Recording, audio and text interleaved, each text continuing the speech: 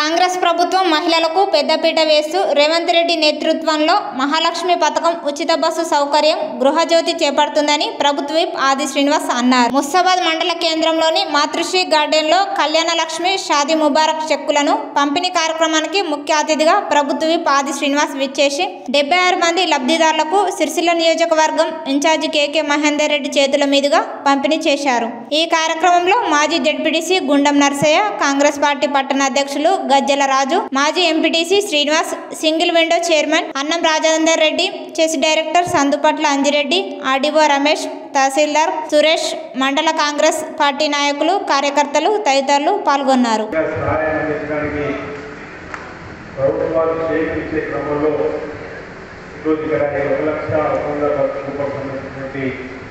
పంపిణీ కార్యక్రమం చేసుకోబోతున్నాం ఇది సంక్షేమంలో సంబంధించినటువంటి అంశంగా రేవంత్ రెడ్డి గారు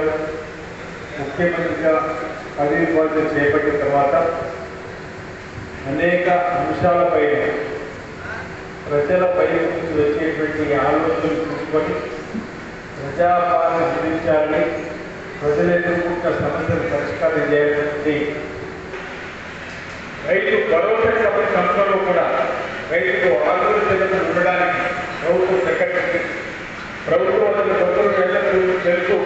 ఈ రాష్ట్రంలో ఆర్థిక పరిస్థితి అభివృద్ధి చేసిన అసెంబ్లీలో ఏడు లక్షల కోట్ల పనిచేసిన వారికి ఇవ్వాలి ఈరోజు శిష్యులు యాభై ఐదు లక్షల రూపాయలు కట్టే పరిస్థితుల్లో ఈరోజు పరిస్థితి బాగా లేకుండా నేను ఇచ్చినట్టు నాకు నిలబెట్టుకు